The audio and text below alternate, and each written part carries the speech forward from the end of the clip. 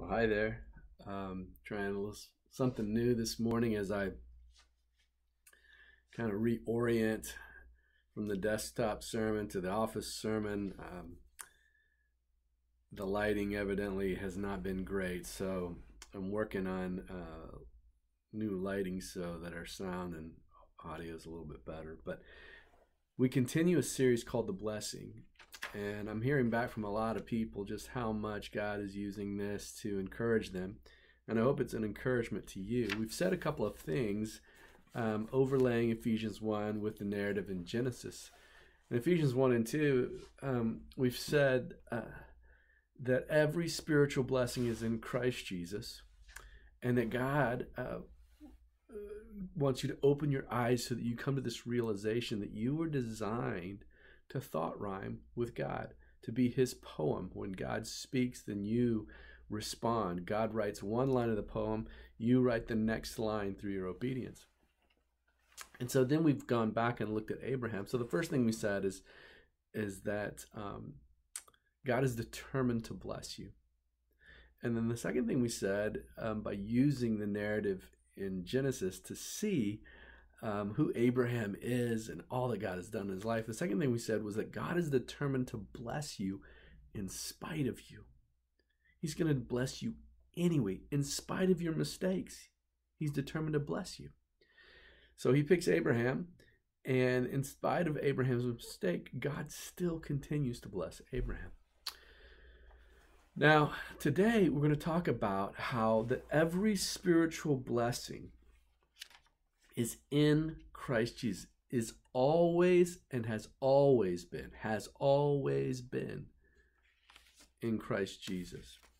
In Ephesians chapter 1, verse 3 and 4, it says, Praise be to God our Father, the Lord Jesus Christ, who has, past tense, has blessed us in the heavenly realms, the reality of heaven that there are two realities there's this physical reality that we experience, and then there's a heavenly reality, but they're both real. He has, past tense, blessed us in the heavenly reality, the unseen reality, with every spiritual blessing in Christ Jesus. For he chose us in him before the creation of the world, to be holy and blameless in his sight. He chose us in Christ before the foundation of the world. Jesus has always been the Christ. He's eternal. And all of the blessings that he has for us are real in a different reality. Not this physical reality, although they can be manifested and experienced here, but they await us, and we enter into them through obedience. So, the first thing we want to look at in this Genesis chapter 14. And in Genesis chapter 14, Abraham has gone to uh, the land that God has promised him. He took uh, his nephew Lot and uh, all the men and their possessions, and he's grown in his possessions through the blessing of Pharaoh and um, experiences. He's just continued to prosper. But there is uh, the king of Sodom who comes, um, and the king of Kedorlaomer wages war against the king of Sodom. Well, Lot and his family are living in Sodom. And the king of Kedorlaomer comes in and defeats and takes everything people, possessions, wealth, riches. And so Abram's nephew Lot has been taken captive. This is where we are in Genesis 14. And so in verse 13, a man escapes and he reports to Abraham that um, Lot's been basically taken uh, prisoner. So Abraham um, gets 318 trained men from his household, and he divides them in the night, and they go and they attack this king of Kedorlaomer. And he recovers all the goods that he brought back with his relative. He, he brings back his relative Lot and the possessions and all the women and other people. So after Abraham returns from defeating the king of Kedorlaomer and those kings allied with the king of Kedorlaomer. The king of Sodom, who had been defeated, comes out to meet Abraham in the valley of Shaveh, which we know as the Kidron Valley. This is the valley where Jesus would pass through coming from the Temple Mount uh, to the Mount of Olives. It's also known as the King's Valley. Then, verse 18 of chapter 14, it says, Then Melchizedek, king of Salem, brought out bread and wine. He was the priest of God Most High, and he blessed Abram, saying, Blessed be Abraham, God by God Most High, creator of heaven and earth. And praise be to God Most High, who delivered your enemies into your hand. Then Abram gave a tenth of everything. The king of Sodom said to Abram, Okay, so now the king of Sodom who's lost. So Abraham goes and defeats uh, the, the other king. Um, Sodom, king of Sodom, had lost, and that's why Lot had gotten taken because Lot was living in Sodom. Now the king of Sodom says to Abram, Give me the people, and you can keep the goods for yourself. But Abraham said to the king of Sodom, and he raises his hand and he says, With raised hand I've sworn an oath to the Lord God Most High, Creator God, that I will accept nothing belonging to you, not even a thread or the strap of your sandal, so that you will never be able to say, I made Abram rich. I will accept nothing but what my men have eaten, and shared the belongings with my men who went with me, and let them have their share. Okay, Adam goes in the fog of war. And um, this happens to all of us, right? So circumstances happen. Uh, life presents us a, a, complexity, a difficulty. And it's very easy during um, the fog of war to get our eyes off of the truth or the reality. So battles can fog our vision, but victory and blessing come from God. So Abraham comes back from the battle. The king of Sodom comes out and says, Look, you can have everything, just give me the people. But the king of Salem, Melchizedek, the high priest of God, has already come out and reminded Abraham that the battle belongs to the Lord, that it is God who has blessed Abraham, that it is God who delivered him, his enemies, into his hand. And so Abraham follows this pattern. All right. So, first, Abraham obeys. Second, Abraham worships. We've seen that in the last two uh, narratives. And now, Abraham sacrifices. He gives a tenth, he gives a tithe. But uh, I was reading this book um, about disillusionment, and uh, Peter Greer, in his book, um, The Gift of Disillusionment, talks about disillusionment is when we get our eyes on the wrong thing. We put our hope in the wrong thing. We put our hope in possessions. We put our hope in people. We put our hope in uh, politics. We put our hope in positions.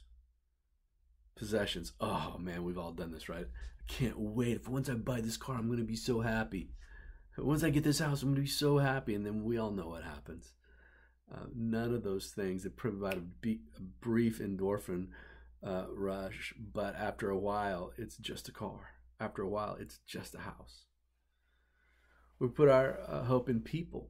People disappoint. People make mistakes. People um, fail. if I could only date her, if I could only marry a guy like him, if I could only. And sure enough, people disappoint. Politics, of course, we've lived this cycle. As soon as this person gets into office, everything's going to be better. As soon as this person gets into office, everything's going to be great. And um, time and time again, we're left uh, holding the bag of disappointment because the political system is not the answer. Positions. Oh, if I could just finally get uh, this job, if I could finally get this degree, if I could finally arrive um, in this uh, place of prominence. And when we put our hope in the wrong thing, we end up getting disappointed. We end up experiencing disillusionment. And so Abraham, rather than put his hope or, or think, wow, I just defeated the king of uh, Sodom and I'm, I'm, I'm awesome now. And look, I get to keep all this stuff for myself. He doesn't do that. He recognizes his hope is in God. God's the one that gave me the victory. And he responds by sacrificial worship. And he responds in humility and says, Look, I'm taking nothing for myself so that you can never say that you made me rich because I want to be known that God has given me the victory. Now, first thing, do you ever take credit for something that God has provided? The other thing is, do you ever put your eyes on things that lead to disillusionment? Because misplaced hope will lead to disillusionment. The second thing, and the emphasis for today, is that every victory, every success, every thing of blessing in your life is in and has always been in Christ Jesus. And Paul wants us to open the eyes of our hearts so that we can see this. So here's the good stuff. This is just this amazing stuff. Abraham wins. He's coming back. Now, here's the thing this is the location of Israel, this is the location of Jerusalem. This is where the Temple Mount is located. All before the temple's ever built, all before David ever makes the sacrifice in order to purchase this, this Temple Mount, all before Jesus ever walks through this valley of Kidron uh, to, to, to the Mount of Olives, all before this ever takes place, Abraham is there. He beats the king of Kedemar, and now he's won his uh, nephew Lot back um, the king of Sodom comes out to meet him and to and to say, "Wow, thanks, great job. Uh, you can keep everything just give me the people. You can keep the possessions." But before that, Melchizedek, all right, Melchizedek, Zedek, righteousness, Melchi, king, king of righteousness. Melchizedek, king of righteousness, king of Salem, he brings out bread and wine. When I say bread and wine in the context of worship or the context of preaching or the context of church, what do you think of? You think of communion. All right. Melchizedek, king of Salem, Jerusalem, the king of Jerusalem, before it's even Jerusalem. He brings out bread and wine. He is the priest of the God Most High, says here in Genesis 14, 18. 14, 19 says, and he blessed Abram only the greater can bless the lesser. He blesses Abram, clearly saying that he's greater than the patriarch Abram. He says, Blessed be Abraham. He lays his blessing upon him.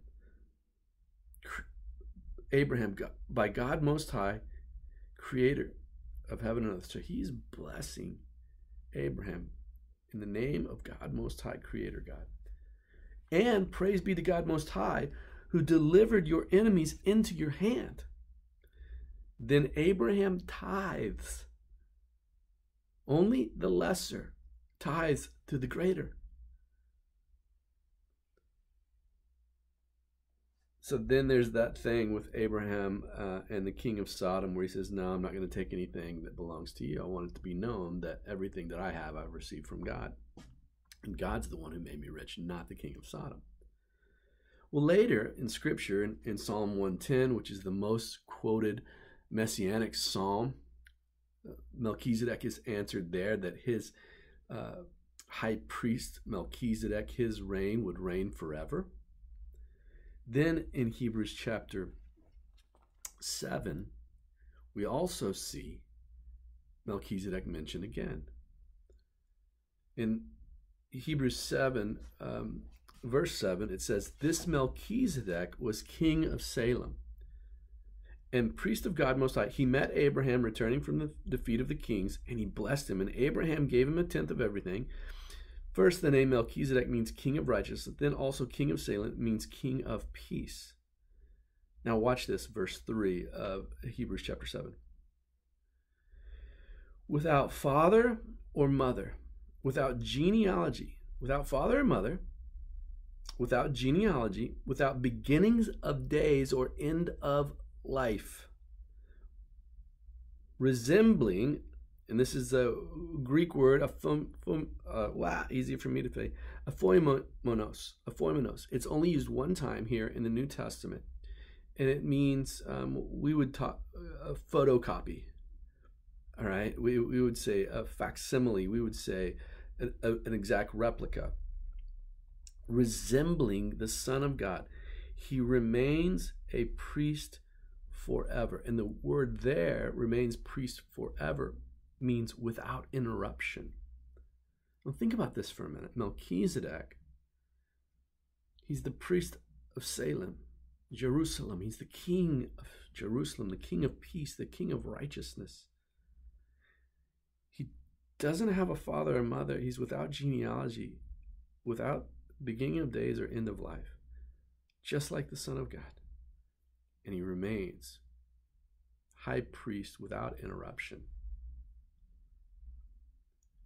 So when we look at this, it's difficult to comprehend. This is what's called a Christophany, where many theologians, myself included, believe that this is a pre incarnate appearance of Jesus that Jesus is here and he blesses Abraham. All right, go back. What's the promise? God says to Abraham, Abraham, I'm going to give you the land. I'm going to give you um, um, descendants as numerous as the stars. I'm going to give you seed. You're going to be a nation. And I'm going to bless the world by blessing you. Through you, I'm going to bless the world. So Jesus shows up, King of Salem. Without interruption, this high priesthood is eternal. That Jesus is not going to come in the, er, the, the priesthood of Aaron, that he comes in the priesthood of Melchizedek. Full circle. This priesthood of Melchizedek reigns without interruption. So from beginning to end, it's always Jesus. Jesus blesses Abraham here so that the blessing that comes through Abraham is Jesus. In other words, every blessing that we have, he gives it to Abraham. He says, I'm going to give you a nation, and through your nation is going to come the Messiah. It is Jesus' blessing that turns into the blessing of Jesus. And so everything we've ever got, everything we've ever received is in Christ, in the heavenly realms, before the foundation of the world, before creation itself. It's in Jesus, from Jesus, through Jesus, and ultimately back to Jesus. And when we can see that, and when we can lift our hearts and our spirit and be encouraged that Jesus loves us, He's determined to bless us. He's determined to bless us even when we make mistakes, and that everything that we have is in Christ, and our hearts well up with gratitude. And we open the eyes of our heart and we begin to see these subtleties and these blessings. Thank you, Lord. Thank you, Lord. Thank you. Oh, thank you, Father. Thank you.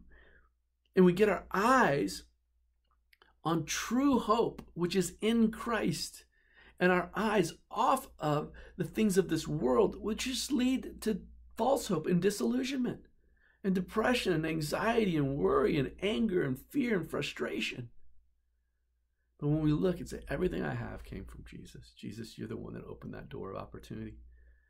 Jesus, you're the one that provided me that relationship, that got me into that school.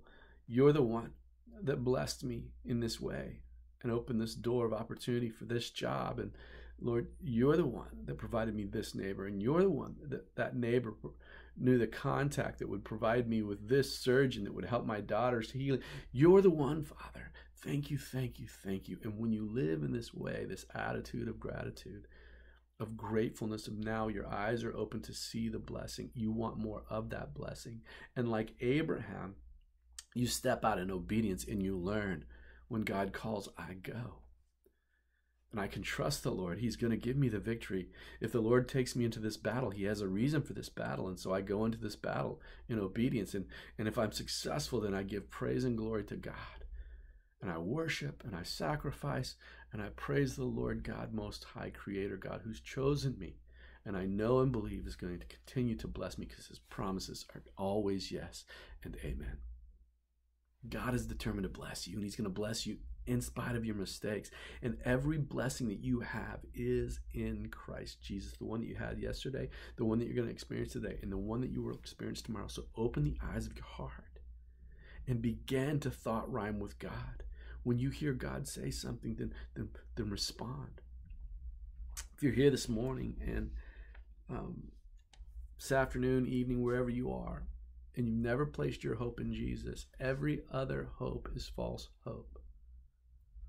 What Scripture teaches is that by placing your faith in Christ, you can receive the hope of Christ, the life that He intended for you, and His blessings you can now experience. They're there waiting for you, but the only way that you can experience is by being in Christ. And so to exchange your life, you simply acknowledge, look, I know I'm a sin, Father God. I, I sin. My sin has separated me from you. But you sent Jesus to rescue me, to give me life, and to give me hope. And so I exchange my life. I give you my life so that I can receive your life. And by faith, I trust in your Son, Jesus. And if you pray that prayer, then just you can call us at 210 940 0040 or you can just type in whatever browser or thing you're watching and type in exchange and we will get with you show you how you can begin to live this thought rhyme poetry begin to live in connection to jesus begin to experience the blessings that christ has for you if you're a believer and you've fallen on difficult times or you've uh, fallen away your sin doesn't get in the way of god's blessings for you in fact, He's determined to bless you in spite of you. Just open their eyes and put your hope back on Jesus instead of a position or a possession or a person. Get your hopes back on Jesus and say, Lord Jesus, I know every good thing that I have in my life comes from you. And yeah, I've gone through some tough things and they're not it's not a billy club, you beat me up because of my mistakes. You're determined to bless me anyway. And so, Lord, I open the eyes of my heart and I pray that you would show me your blessings in my life. I want to walk in them and experience them. Where you, Lord God, speak, I will step out in faith and obedience and follow you. If you tell me to go and help my neighbor, I'm going to help my neighbor. If you tell me to forgive my enemy, I'm going to forgive my enemy. If you tell me to give him my resources, I'm going to give him my resources. I am going to live in obedience to you and experience your blessing because my hope is from you is in you because all my blessings have always eternally been in you since the foundation of the world he's chosen you. And the priesthood that Jesus has is eternal. And the blessing of Jesus comes from the blessing of Melchizedek who is the pre-incarnate priest that blessed Abraham and says Abraham I'm going to bless the world through you. It's just mind blowing the eternal nature of how God is determined to bless you, for you to experience His blessing. If you don't believe that, I pray that your heart will be encouraged. I hope your mind will be blown that God has eternally been pursuing you. He loves you that much. And that everything He has for you is already yours. All you have to do is walk in it. All you have to do is step into it by hearing the Holy Spirit and responding because every blessing, every truly good thing is in Christ. It's not in the world, it's in Him. I hope that that will bless you this holiday weekend. Uh, go in grace and go in peace.